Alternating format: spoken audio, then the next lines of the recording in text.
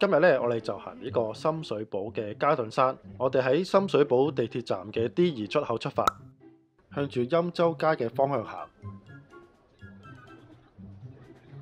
咁話就話係行山啦，咁但係呢條路咧行十五分鐘咧就行完㗎啦。咁呢個嘉頓山咧喺鬧市中心，交通極之方便啊，係一個非常熱門嘅行山地點嚟嘅。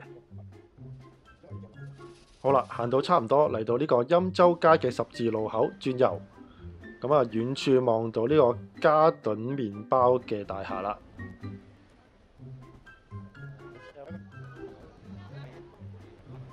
咁點解嘉頓山咁受歡迎呢？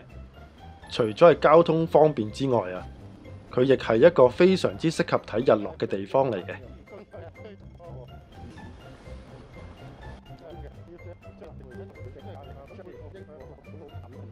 我哋經過嘉頓大廈旁邊幾條馬路之後呢，好快就會見到美荷樓啦。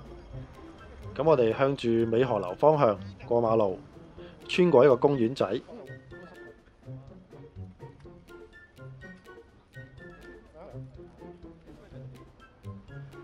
好，穿過公園之後呢，我哋行到嚟呢個巴域街，再行到美荷樓呢個路口。咁喺呢個路口行入去，咁就冇得輸噶啦。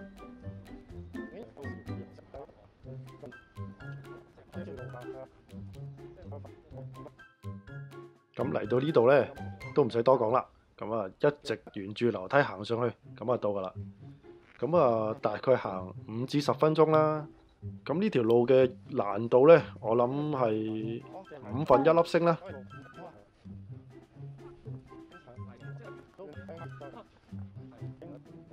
咁呢度係睇日落嘅好地方啦。咁我今次都唔例外嘅。咁我就上網查咗今日嘅日落時間，大概係六點半鐘嘅。咁我就六點鐘出發，咁啊行到上去，剛剛好可以睇到日落。